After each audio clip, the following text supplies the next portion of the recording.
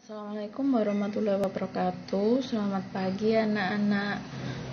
Hari ini kita akan membahas tentang soal bahasa Jawa yang telah Ibu berikan beberapa waktu yang lalu.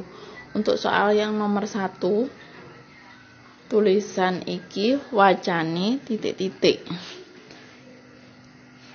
Kita lihat tulisannya dan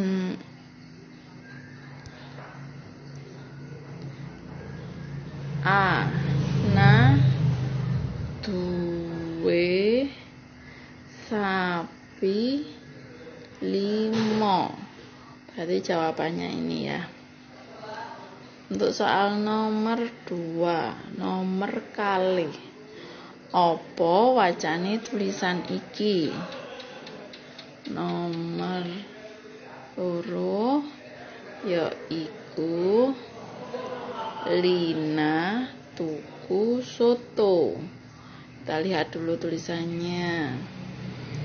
Ini Lina tuku soto. Kita lanjutkan nomor telu. Nomor telu enak tulisan artinya atau bacaannya yaiku katon api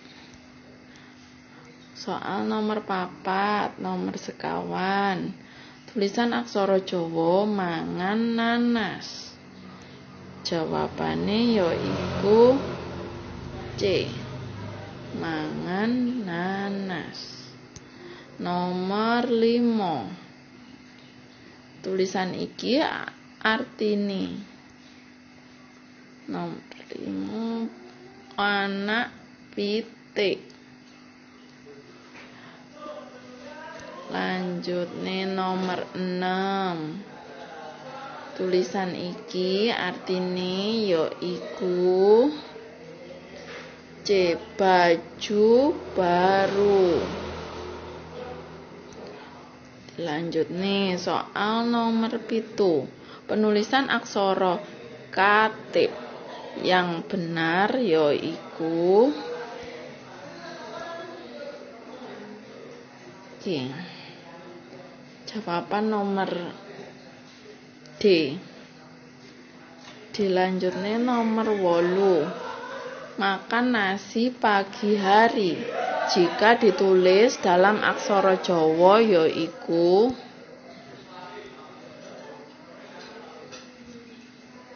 sing A. Lanjutane nomor nomor songo penulisan tanda baca koma yang benar dalam aksara Jawa adalah B.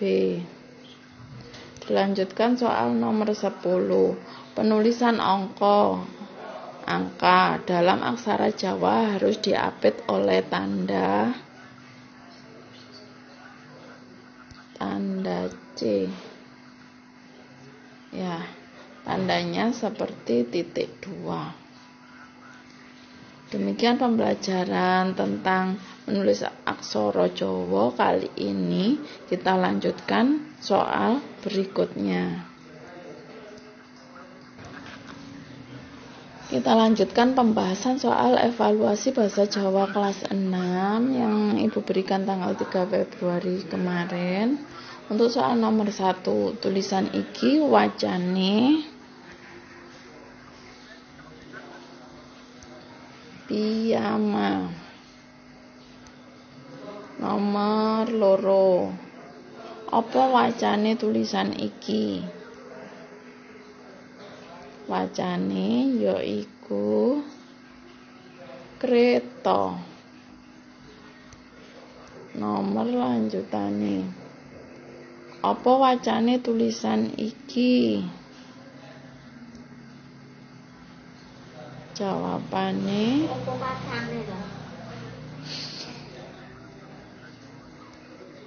jawabane yaiku Srawung. Nomor papat. Apa wacane tulisan iki? Di sini ada so diberi sere dan ini go diberi pepet po dipangkon tulisannya wacane sregep jawabannya yaiku sregep Demikian pembahasan kali ini. Semoga bermanfaat. Wassalamualaikum.